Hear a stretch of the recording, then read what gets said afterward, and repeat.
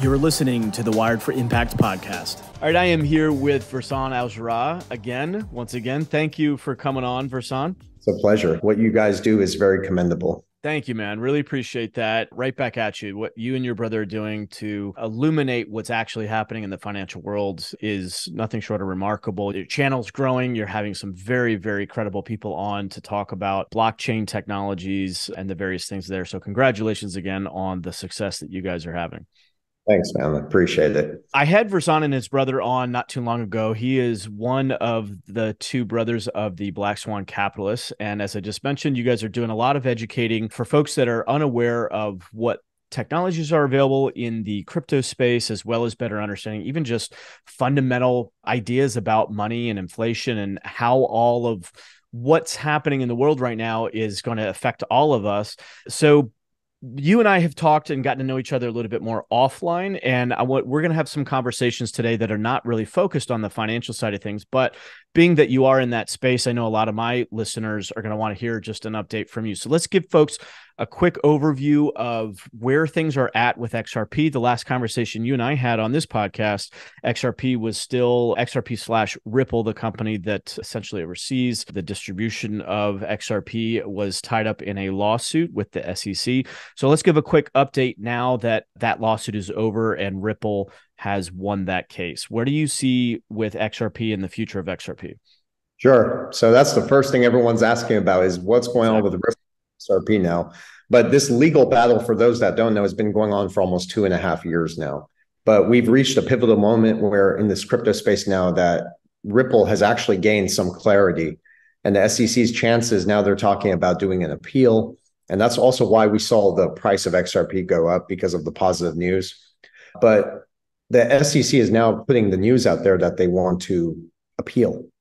But I want to make it very clear that if they are going to try to appeal, that is going to backfire. It might also take much longer, almost a year maybe, if they wanted to appeal. And Ripple could play the same game now that they were playing with Ripple initially and just continue to drag it on. And by the time from a year from now, if they keep dragging this on, all this adoption is going on, all this money is going on. So there's there's nothing there. There's nothing tangible. It's not realistic.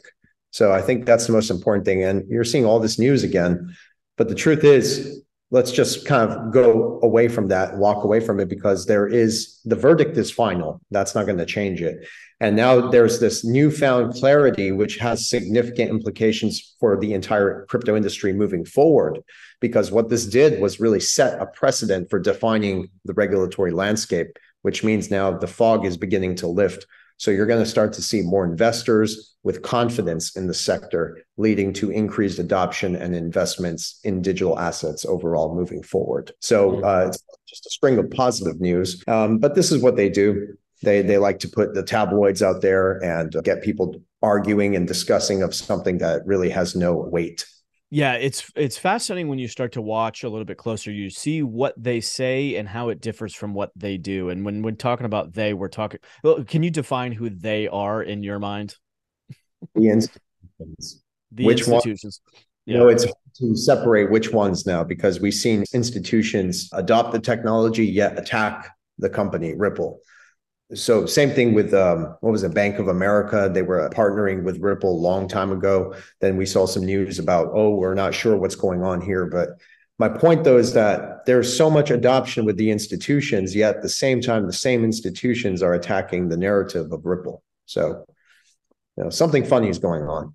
Yeah, there's definitely something funny going on. I, I think we could make some allegations by connecting a few dots. We don't necessarily have to get into that right now, but I do think it's a good precursor to the conversation that I want to have with you the, with the rest of this podcast, which is kind of why we're here in the first place. And you and I have started to learn and and p- pull the uh, the wool back from our eyes a little bit about how we got to this place in the first place uh, and i'm trying to think of how best to set it up but to me it's almost like what we're experiencing i think experiencing right now in the world is essentially a, a, corporate takeover and it's like how do you how do you combat against that? And it seems so convoluted and so entangled that it almost seems overwhelming and impossible to actually address. Now, you and I might have a little bit different interpretations. I'm explaining it, at least from my perspective, how I'm seeing it. And as I've started to learn some new things, and some of that came from a previous podcast with Brandon Williams also with James Lovett, who were essentially saying, look, the US is a corporation.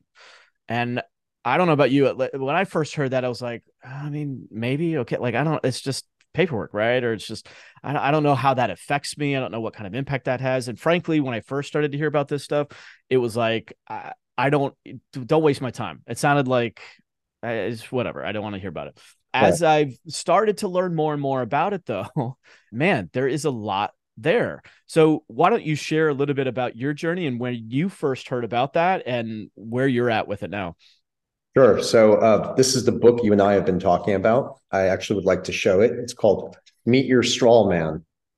It's a very interesting name.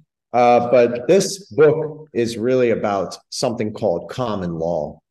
So I'm going to break it down. Once you start reading this book, this is really what you discover. And this is this is real. This is a real laws that used to be implemented way before 1913.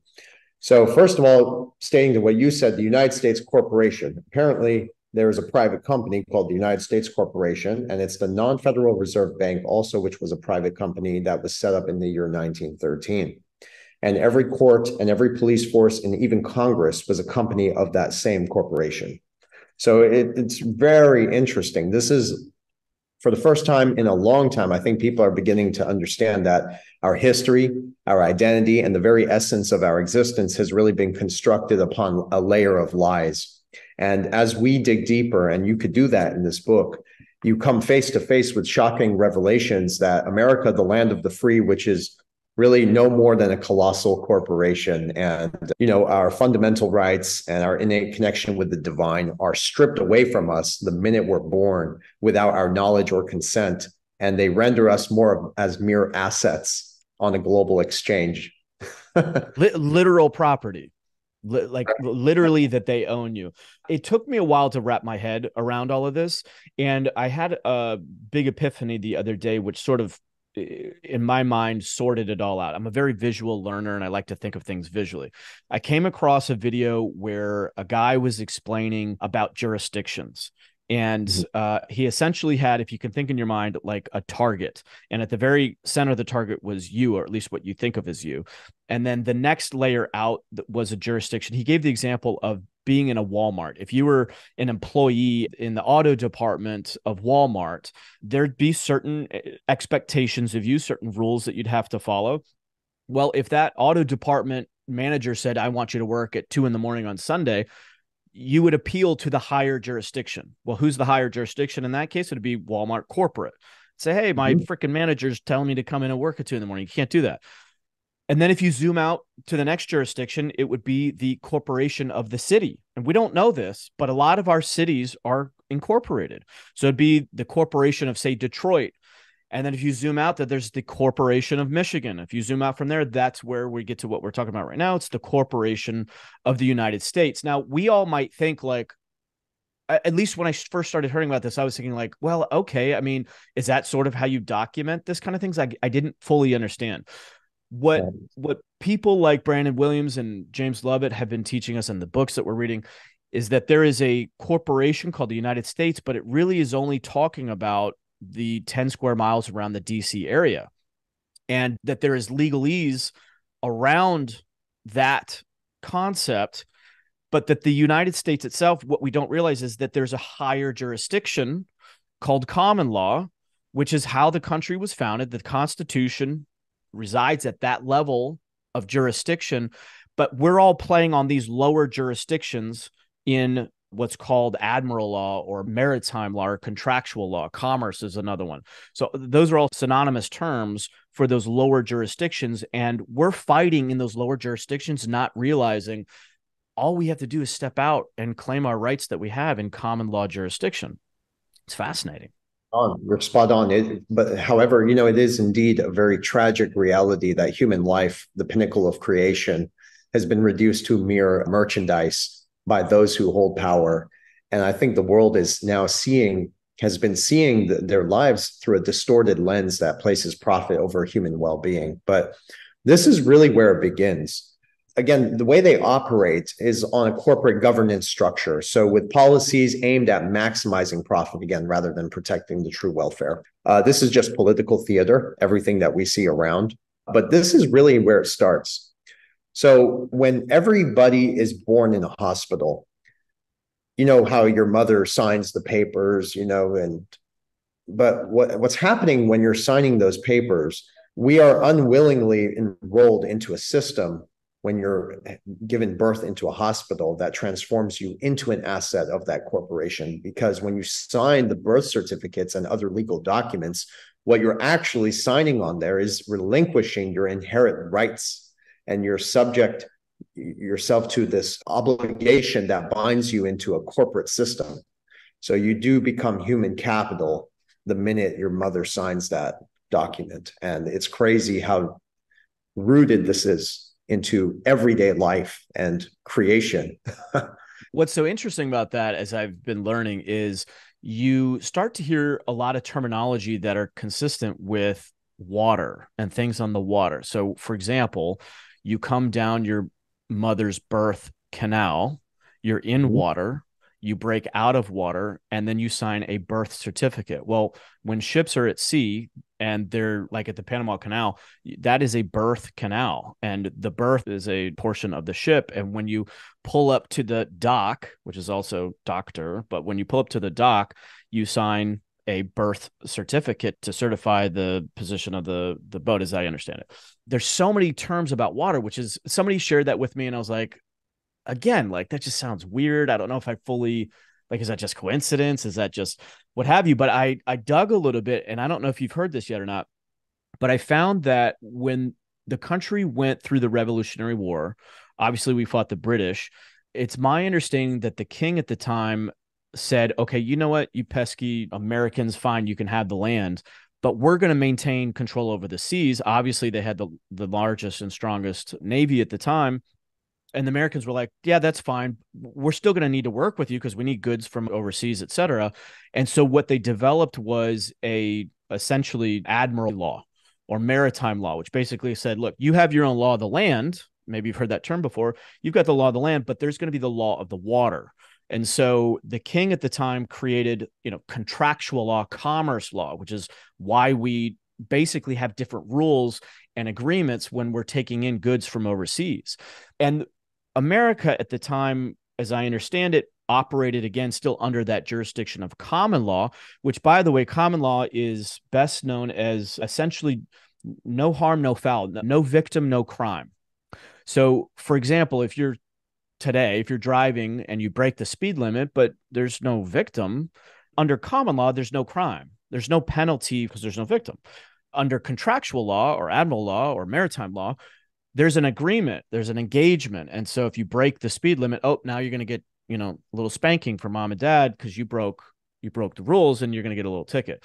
So anyway, so I'd heard about those two that, that the king came up with the contractual or maritime law and there was apparently a, a, treaty of it was called the Treaty of Verona, which was a, a meeting between I think the Pope at the time and the King of England, and they said, you know, those Americans like we can't have jurisdiction over them. We're trying to to create subjects again because that's how the rest of the world uh, history has operated is under king and subjects.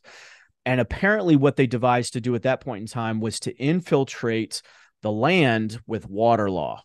And so that's why we start to hear all these water terms when it comes to the birth, when it comes to our court system, we typically think of our court system, at least I grew up thinking our court system was a a place of justice, a place of where you could, you know, appeal to your peers and and have right and wrong sorted out. The courts are owned by these corporations. They are extensions of commerce, which is mind blowing. I don't yeah, know if you were aware of that or not. I actually was not, but you know, everything under common law, when we start to look at it, everything gets thrown out the window. and that really what what that does there is you're you're breaking the chain uh, as far as being bounded by these laws that are here to subjugate us. But if we can break those chains and free ourselves then you know things could really change in the world. I think that in the us we use a lot of euphemisms and that's kind of what you were talking about a little bit in the beginning. Euphemisms they use different they change words to confuse you and to get you looking somewhere else. So I, I, just find that interesting too. But I'm I'm still learning so much from this book. I haven't finished it yet, but you know. yeah, there's there's so many there's so much information that's out there on this, and th- the way that I now understanding it is that it's not that they took them away. It's not that they took away the rights, it's that you became contractually obligated and therefore subject to that level of jurisdiction. Apparently, there was a case, a Supreme Court case in the 1800s, where a gentleman was walking by a train car, and I guess the train started up and started to move, and there was a board sticking out of the train, and it hit the man's leg, and he was injured. And so he hmm. went to sue Erie Railroad Company and under common law, there's a victim, therefore there's a crime. And so right. he sued the company. And w- this was a huge pivot point in American history, as I understand it, because the Supreme Court at that time said, you know what, you had no contractual agreement with the company. Therefore, there's no liability. Therefore, there's no penalty. And so from that point forward, we started to operate more under admiral law or water law or contractual law and we essentially abandoned common law. It's still there. That this is what to me i think is a huge huge like possibly history altering awakening to understand that we've been contracted into these lower jurisdictions and that the common law jurisdiction is still there and it is still available, but we just need to exercise it. We're not exercising those rights. We're not standing up and exercising those rights and basically untangling ourselves from the contractual obligations that we have. Another problem with this also is the fact that there are too many people that do not know about this common law. So, for instance, if we were to take common law and actually practice it right now, you and I would not be paying taxes at all because we don't have to legally. You know, it's optional and this is clear. And even this is clear even in today's law. It's not it's not just common law. But if I you and I started practicing this common law and we stopped paying our taxes, we'd be arrested or they would come and confiscate our goods, right? But see if everyone did it together, there's nothing they could do. The problem is that when they started putting these new laws into place, most people kind of went and abided by them because they were fearful. And this is what governments do. Well, this is what the corporation did. They put these laws into place where you're afraid to practice what has been given to you. Because if you did that, you'd be arrested or subjugated. And they can't allow that because it's a threat to their power. Well, but let's say that you did get arrested. People have been starting to do this and they have started to have issues with the government, i.e. the corporation. And and in that case, you're really at a you're at a pivot point because you need to be able to communicate and operate as if you are absolutely in that common law jurisdiction. The research that I've done has shown that there are people that will, you know, they'll make that claim, hey, I don't have to pay taxes, for example and they may get arrested or they may get some of their assets taken from them, et cetera. And at that point in time, they're in an entanglement with the courts. Uh, and if you understand that the courts are a corporation, they're now in a uh, entanglement of words and being able to define themselves. And I'm finding that there are some people that are unable to effectively stand in the common law jurisdiction, and they basically continue to entangle themselves and bind themselves into contractual arrangement. And a lot of this comes down to words and what words you use. One word, for example, is if the judge says to you, Do you understand what I'm saying? In certain areas of understanding understanding means i'm under you. And so when you're when you confess yes i understand i'm under your authority your subjugation then whoops now you're back into that lower jurisdiction. But on the other hand there are people that are that are knowing their common law rights that are standing up for those common law rights that are communicating in a way that doesn't entangle them in the lower jurisdictions and they are getting out of things like paying taxes which sounds crazy but it's actually happening. Yeah. There in this book it, there are real cases where people have applied common law and that's basically what you're saying. They've applied common law and they've managed to break the contractual agreement. But yeah you have to know how to practice this I, I think it's pretty amazing. But you know, it, it'd be amazing if we could actually take this into court and read it in front of the judge there just to get an idea. But I think the most important thing I was looking at in here was the debt.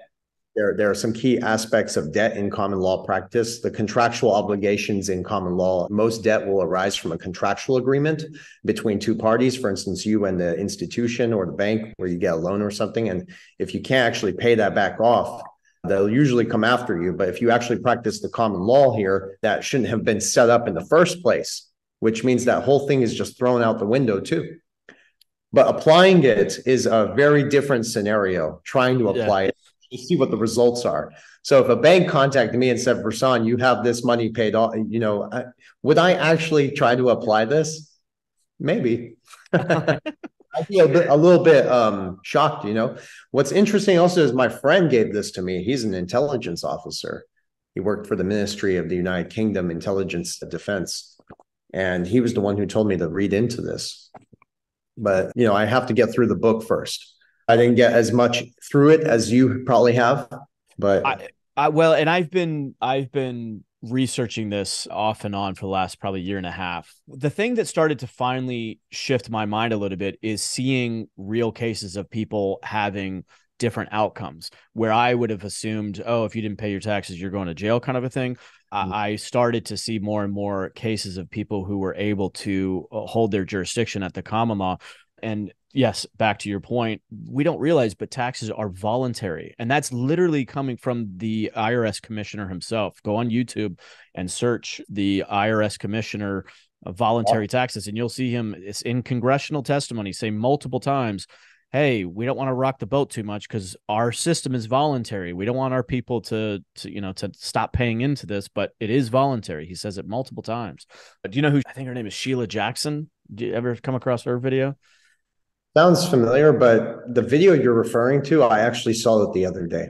And yep. that's my point is that there's a lot of validation. If you go look for it, if you go look for it, it's right there. Sheila Jackson was an IRS agent and uh, if you haven't seen her stuff yet, go look it up. Go to YouTube and, and search her. It's it's wild because she basically tells the story of how she was an IRS agent. She went around and she was like, you know, I was you know super smart and I got great grades and I went and I now had this IRS agency and I had my little badge and I'd go into these companies and I'd flash my badge and she's like most people would immediately, you know, uh, okay, well, we'll do whatever you say whatever. And then she came across an ad in the paper that said, for anybody that can show me where the law says that we're obligated to pay taxes, they'll pay you $50,000. And she was like, this is going to be the easiest 50 grand, you know? So she like started to went and look and she realized, oh, wait, hold on. All the information that she had been given to train with were basically summaries because the tax law is so convoluted and so entangled and so large. So they basically broke it down in all these guides. And so she's like, all right, well, those are my guides. Let me go actually look at the code itself. And she discovered that she could not find where it said that people are obligated to pay taxes. And she was like, holy crap, this is crazy. Um, yeah. And so again, there's just those those kinds of stories out there where people are showing that this is it, it is a, a bit of a ruse.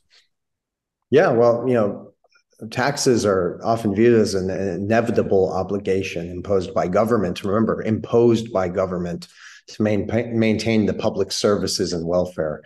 But there's a controversial perspective that exists in, again, common law, suggesting that taxes are not only illegal under common law, but they're also optional. So uh, the viewpoint certainly challenges the traditional understanding of everything we know and all the legal practices and principles that underpin our society yeah, it's pretty it's pretty shocking. I mean, I, I'd like to see this be applied into everyday life. If people can become more familiar with these laws, I, I really think things could change fast because we're all being subject and with everything else going on as far as uh, you know in the traditional banking system it's taking us in a path where there's no way we can come back from that and that's digital so with everything going digital, it's just kind of locking us up in a prison in a way. I don't know about you. I, am in technology. I was an engineer for a bit, and I I can see more of the the cons with technology than the pros. Mm-hmm. You know, don't get me wrong. Technology, I'm all for it, but there's m- many things that are putting us in a corner, and it's really damaging too. So if we're going digital too, and I've said this before, we need some sort of digital constitution of human rights. But we need to apply this for sure. Agreed. I don't know. I don't know how we're going to get there, but this is pretty amazing. Are you equipped to share what money actually is and how money differs from currency? Because that I think is helpful for people to understand and how we basically got into this mess with central banking in the first place. Well, yeah, that really started with the the Federal Reserve. We were tied to a gold standard, and that really kept our currency stable. And when Nixon in 1971 took off the gold standard, that's when he gave complete authority to central banks. But you know, this was in 1913 is when the Federal Reserve was established, but that's really the crux of it. When they took the gold off the dollar, they were able to allow the central bank to print so much money. And what they did with that money is build the military industrial complex. And that's the same people that are reverse engineering all kinds of technologies. And they don't want to share it with the public. They don't want to help us. So what, what money really is, is, is it's just a medium of exchange. But what we've done here in this situation, that they've actually taken money and created a situation where we kind of screwed ourselves by going along with it. So our money is worthless now, but it's really just the banks. They printed so much money right now, and uh, you know the debt is exponential and it's out of control. So one of the things I wanted to add to that, a lot of us don't realize that constitutionally we were supposed to only have gold and silver as legal tender. Mm-hmm. Um, and when the government came and confiscated the gold, I think that was 1933, if I'm not mistaken. I believe it was 19. Uh, it was it was somewhere around that time frame for sure. I think Roosevelt was in office at the time. Yeah, it was Roosevelt. The country was, as I understand, was essentially bankrupt, and so they went to confiscate the gold. And at the time, his, in terms of history, what I had learned over you know my education was that if you had a thousand dollars worth of gold and the government confiscated it they they had to give something in like kind value right? And so we were told hey if you had a thousand dollars worth of gold they would give you a thousand dollars worth of basically fiat currency right as payment for it. But it all of a sudden occurred to me and i think it was i was actually as i was reading the book that we're talking about today or another one of the books in the series it occurred to me that they didn't give us something in like kind. Because not only did they take a thousand dollars worth of gold and say fine maybe here's a thousand dollars worth of paperback but they took away our ability to pay anything in the future. Does that make yes. sense? So so in order to give like kind this is where the whole fraud comes in. In order for them to give like kind if they took away our ability to pay under common law essentially gold and silver and now we don't have the ability to pay for anything in the future what was the remedy for that was essentially infinite credit and that at that point in time we basically became creditors we became the backing for the government when the central bankers came in and said well how are you going to pay us back and the government the small handful of people basically said well we'll give you our people as collateral and this is where the whole like ownership of people i think really was cemented. This is yeah, this is when people became commodities in a sense and merchandise because most yeah, go ahead. Well, yeah, exactly what you said. And but this is why it's so important that we get back to a gold standard. And many people disagree with me on this, and that's fine.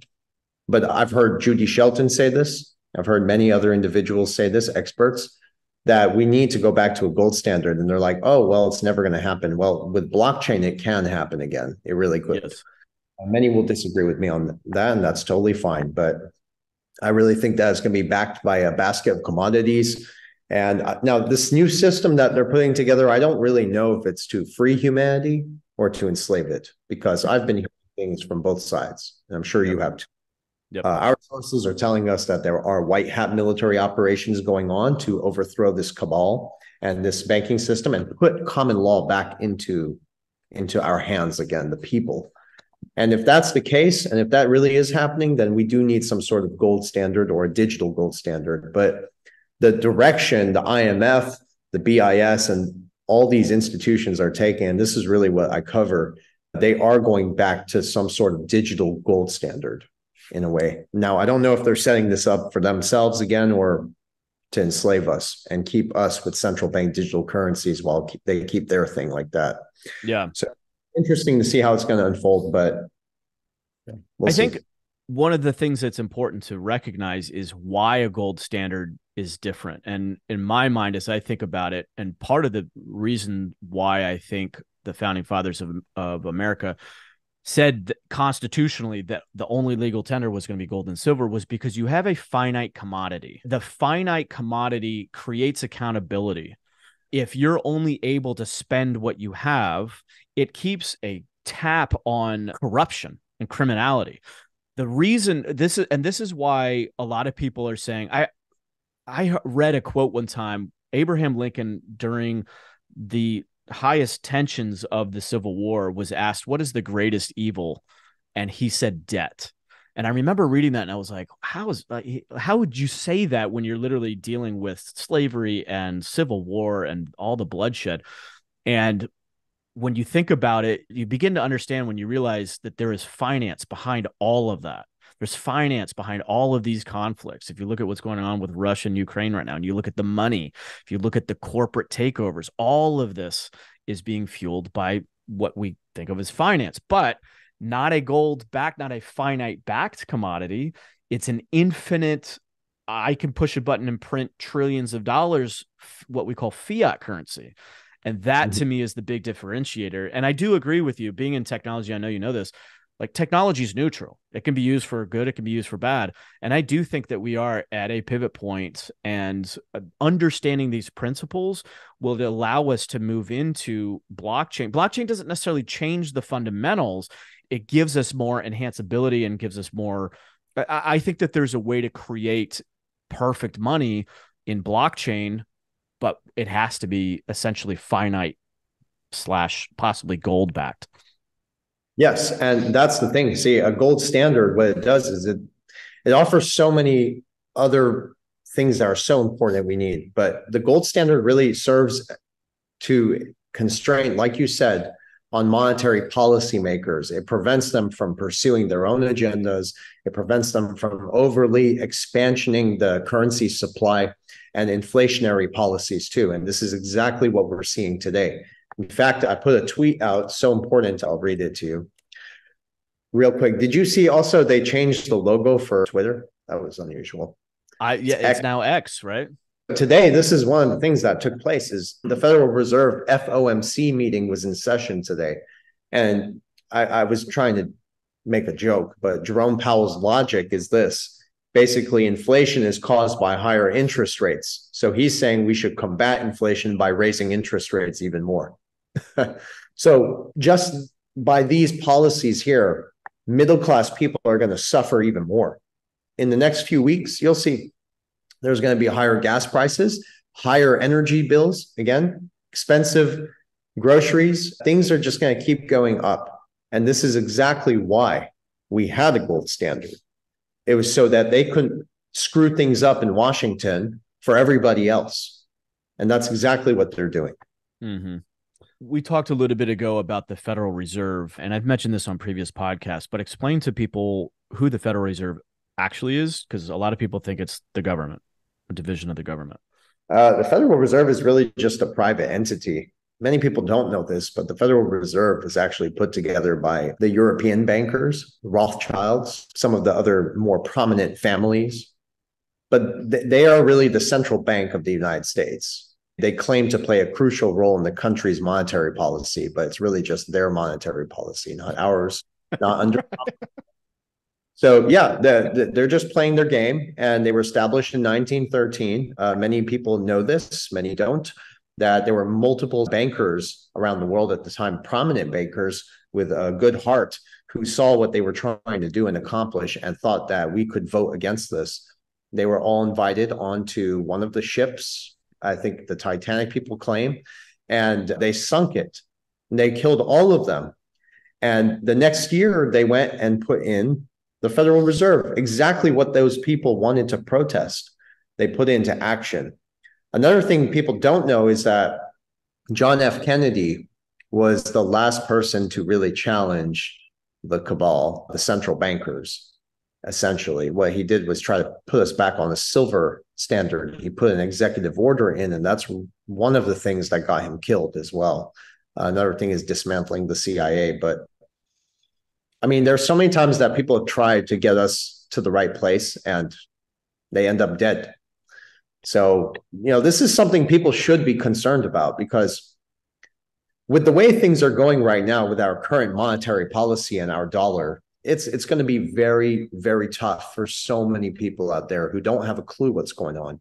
Millions in my opinion are going to die in the next few years as things continue to get worse because they're not going to get better unless we change something. Mm-hmm. And have to put this new system in place and hopefully it's going to be there to free us because it can. It can free us. If we take there's enough resources on the planet to to take care of everybody. There really are. Another rabbit hole i want to briefly throw out there breadcrumbs is that there are more continents out there that nobody has ever seen and no one's going to believe that that's totally fine but it's out there i promise they could go do their research and due diligence. I promise in time it's going to eventually come out as everything else is slowly coming out. Uh, but there's a lot of resources out there. And if we wanted to do this digital commodity based system, and we've heard many of these central planners talk about this, it could really free humanity. And even XRP, in its design, initially was there to redefine the whole concept of money by pegging all the commodities to this, this price would be so high of this asset where money wouldn't be on your mind ever again. In fact, we really could free the whole world. Really, we really could with the technology we have today. But we're not seeing that. They're just delaying it and they're dragging this shit show on. And many people are getting hurt by it, including myself. We're feeling the pinch. My businesses are suffering. We're going to have to shut down one of our stores. So, you know, it's not going to look pretty for many people moving forward. It's my assessment that we are going to be shifting from this old system to a newer blockchain based system and that during that transfer there's going to be a lot of people that are left behind or not knowing how to navigate it or perhaps you know channeled into a cbdc that they then really don't have any value it's not going to have any long standing value is that your assessment as well? How do you see this unfolding in the next five years or so? Sure. So, you know, people keep saying America is the greatest superpower in the world. Despite the US being a superpower, the USA is actually grappling with more internal economic challenges and conflicts. The middle class is witnessing a sharp decline in the poverty. Credit card debt is soaring, which means people are having to borrow more money and pay higher interest rates for them. So, as a response to these issues, this is exactly what they're doing to maintain some financial stability. The US, they've been exploring for a long time now, and many other countries around the world about central bank digital currencies. They say, and this is how they're going to sell it, that can revolutionize the financial landscape, offer instant settlements, trust, reduce transaction costs. But you know, their real implementation behind this, it, it raises concerns about individual privacy and potential governmental controls over your transactions. So mm-hmm. there's no doubt about it. We are on the cusp of a great wealth transfer with everything being rapidly digitized. But you know, I, I, believe that, and that's why we invested in XRP and many of these technologies because we believe here that if we invest in the pillars that are putting this new system together, maybe we can come out this okay.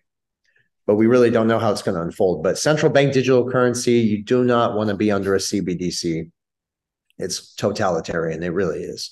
So the way I see things, though, moving forward is, that, and I've said this before, they could continue to drag it on, keep raising interest rates, keep devaluing the currency, make people hurt so much, so they beg for this new system. And even the most overzealous people who don't want the CBDC will do anything for hunger. So if they're weaponizing the food industry, which they are, weaponizing the water, weaponizing medicine, they're weaponizing money. It doesn't look too pretty. yeah.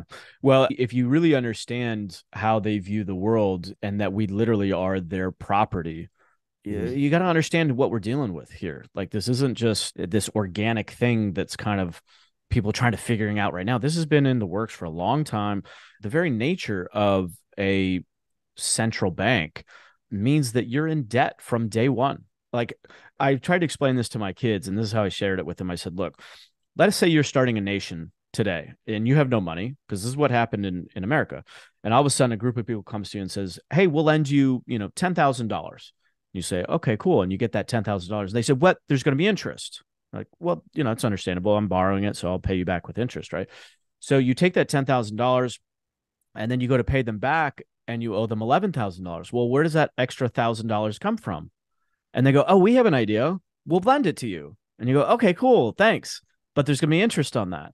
And anyway, what you can see is by the very nature of the central banking itself being a debt based system, you are consistently from day one going further and further and further into debt. And that doesn't even, we're not even talking about fractional reserve lending and some of these other principles that have compounded this problem.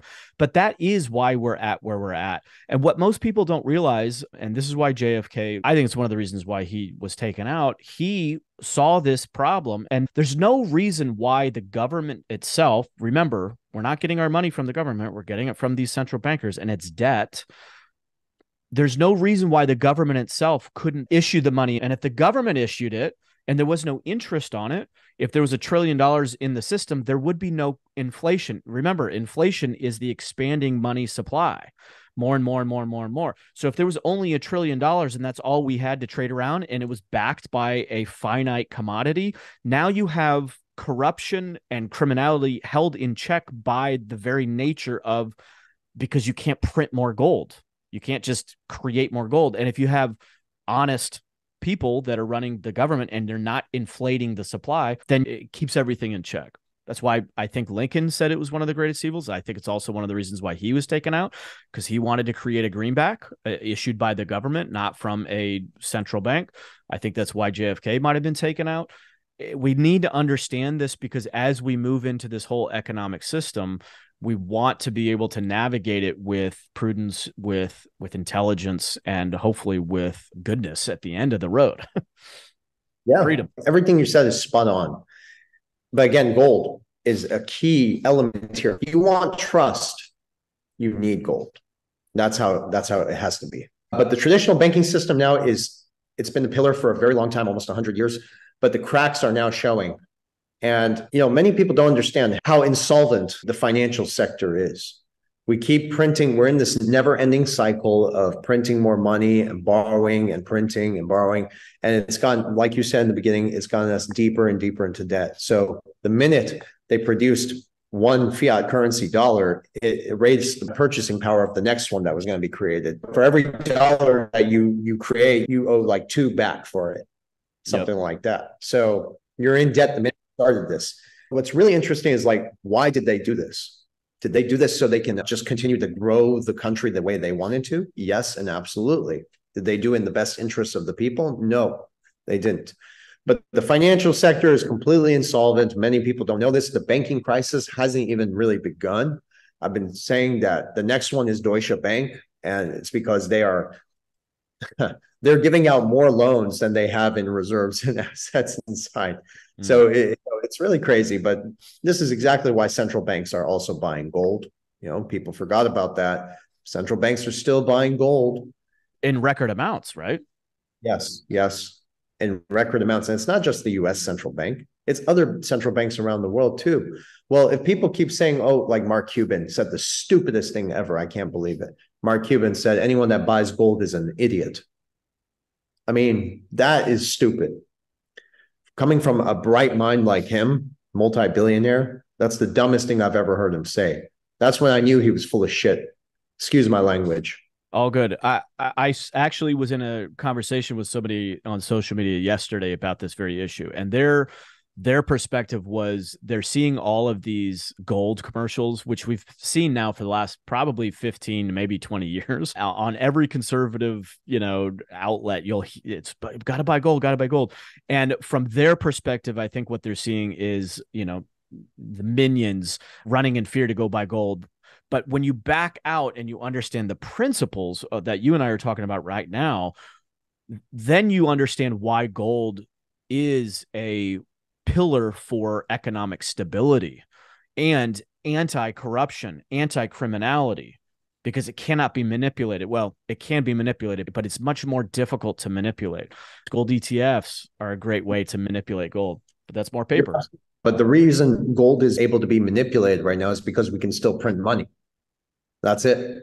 Mm-hmm. So they want to play with the markets that way. And that's exactly what they've been doing. Think about it. There's a finite supply. I think the derivatives market is the biggest, I was going to say the biggest bullshit out there. It really is. Some of these companies have trillions in derivatives in silver. There's not even that much silver on the, you know, infinite amount physical silver. So, you know, these numbers are crazy. What I think is going to happen though and this is probably why the Bank of International Settlements moved their asset class of precious metals from a tier three to a tier one, is because they're going to have to reset the price. It's very possible. One way people, you know, see this is if if they reset the gold price to a lot higher, it could shrink the debt, maybe something like that there are a few ways to look at this, but the only way we're going to see real stability is gold. And if we're going digital now, we have to have some sort of digital gold standard. And if there's going to be a digital gold standard, I tell you, man, the only one that can either meet that criteria is XRP or XLM. It's one or the other. So let me ask you about that because I, I know you guys are not advocates of Bitcoin, but a lot of people say Bitcoin offers no utility. But I, at least from my perspective, the utility is that it offers no utility. The utility is that it is slow, that it is finite, that you can't expand it. Is it possible that you could have a Bitcoin backed currency that essentially is digital gold? I, I, know I've said a lot of negative things about Bitcoin in the past, but you know, I, I've never said that, for instance, Bitcoin has no utility. Hmm. I, I think it has utility. People are using it as a medium of exchange. That's uh, outside the central bank's purview. That's pretty cool. Uh, but the thing is, there's other technologies that can do it faster, cheaper, they're more scalable. And that's just the way I see it. You know, the way I see is that if there are faster, scalable currencies out there, why wouldn't they be used? If you want to do something, you know, like a gold backed currency, for instance, you could put it on the XRP ledger and it could be like a form of digital gold. David Schwartz actually said this once that XRP is like digital gold. It can teleport anywhere around the world in three seconds. That's exactly what he said. I have it on Twitter if I was to share this screen with you. I but hmm? I was going to say I think that to me the difference is the technology is one thing, but the core fundamental principle of a finite commodity and Bitcoin, as I understand it, by its very nature, is finite and that there cannot be any more Bitcoin minted. I mean, obviously, after we go through its its full minting, and, and so therefore, there's basically a accountability. Whereas XRP can't XRP they can burn and can you create more XRP or is there a finite supply of it? It's a finite, finite supply. So the way I would like to describe it this way, the way I see XRP's technology be utilized and the way I was taught it in the beginning, and I went to do my own due diligence. And don't get me wrong, I've made mistakes before. I don't know it all. I'm I'm still learning. All of us are, and this the importance of the discussions we have. But XRP, it's got 100 billion. All right. People talk about the escrow. I could care less about the escrow, and I'll explain why if there's 100 billion XRP and it's the fastest, cheapest, most scalable digital asset out there, and many technologies can be built on it, upon it, right? Or around it, that's great. But at some point, when this is, and, and you see all the partnerships around the world, and you know, we're not seeing any utility just yet. A partnership is one thing, that's great, but we're not seeing utility. So if they're going to be using this stuff and all this these partnerships, I got document files so big, man, of every document, like partnerships. I'm old school, man. I I put everything on paper here, you know. all paper, man. Ripple, say everything's on paper. You know, all this partnerships. And that's just one. I got files like this. So what I'm trying to say is that the minute these things go live, they're going to start being using the XRP ledger or XRP. And what that's going to do is it has a burn rate of 0.0 something XRP per use case. So there's not enough, in my opinion, enough XRP to facilitate the global demand for what they need to do to move money around the world. So that's why I've said the price is going to be set very high. And I'm not the only person who has said this. If you go back 2016, 17, maybe earlier than that, you can find videos of David Schwartz saying this. You could find videos of what was his name, Jed McCaleb, talking about this before he left Ripple. So, you know, it, many people will say, no, that's not possible. David Schwartz never said that, but he did say that, you know. Mm-hmm. It's just the way when you understand the technology, it makes more sense. But also, if you look at the traditional banking system and what the problems are over there and kind of everything we just talked about, it makes even more sense to use a technology like this because you could do other things with it too. So, you know, there's a lot of information out there a lot of people are giving different perspectives on this stuff but the way i see it and my brother and i we've been through this in and out. I'm just so tired of like talking about it at this point. This is going to be utilized by the world governments and the world institutions. And if you think that you could fight the governments with money their their own system I, I don't believe that is something that's really it's not realistic to believe that you could compete with their currency. Another thing that I'd like to raise is SHA 256. It's really a cryptographic hash, that function that actually belongs to the SHA uh, family of hash functions. So there's a few of them. And they're, you know, they're used for um, data integrity, data signatures, and secure data transmission. But when you look at Bitcoin's technology, it's layered on that SHA 256. Now, who created SHA 256, this algorithm? You realize it came from the National Security Agency, the CIA, uh, Mossad, MI6. They had some involvement in all of this, the cryptographers. So it just raises questions behind the true motive of Bitcoin and who's really running it, who owns the most Satoshis, if you will, because they could dump this thing anytime if they really wanted to. Another thing is Tether. Tether is something you should keep a very close eye on. Tether has been, it's like a, the Federal Reserve's printing machine. And what they do with Tether is they print artificial numbers to inflate the price of Bitcoin and create the illusion of some sort of stability in there. The same way our banks prop up the markets to create the illusion of financial stability. They're doing the same thing with Bitcoin and Tether. So Tether, if Tether goes and Tether's broke the buck how many times? Two or mm-hmm. three times now they broke the dollar. Well, if it was a stable currency, it'd be stable. But what is the what is Tether backed by? It's backed by the United States dollar. But what is the dollar backed by? Nothing. So the whole thing's a joke. It's a Ponzi scheme. And I'm not saying Bitcoin's a Ponzi scheme, but I know Tether's involved in a lot of other weird and nefarious shit I don't want to get into trafficking and all kinds of weird stuff. Uh, some billionaires, crypto billionaires, exposed them for being involved in trafficking with Tether through Puerto Rico and Costa Rica, and they got killed, you know, because they had influence. I don't have influence. I only have 30,000 subscribers. Don't worry about me. you know, but yeah, it's just, it's crazy, man. There's so much information out there, and I get lost in the rabbit hole sometimes of other topics. And you can start to put pieces together without even having to see the full picture. And that's just some people are born with that gift. It's intuition on another level. I do have that gift, but when I read these documents and I see what I'm talking about, and by the way, I've spoken to you on the phone a few times. When we get off our call today, I have a phone call with Linda P. Jones. I have a phone call with XRP Lion. I have a phone call with a few other friends, and I'll be speaking to people at NASA tomorrow. I'll be talking to other dear friends of mine. So I, I, have a lot of people, experts, who I actually speak to, and they leave breadcrumbs for me to go do more of my due diligence. But we kind of go back and forth. So not all of what I'm saying is coming out the top of me. These are things I've heard too, and I just trying to articulate it the right way, I guess. Yeah, I hear you. It's a real service. We appreciate that. I wanted to ask you before we wrap up here Uh, are there any concerns that you have with XRP and some of the associations that it has? Because some of them seem to be tied into the central banking and some of the the quote unquote they that we've been talking about that we're wanting to avoid. So, what's your thought on that? You know, it's a very good question. I've thought about this many times with my brother, and we've had many discussions. Yes, we are concerned. We're very concerned, in fact.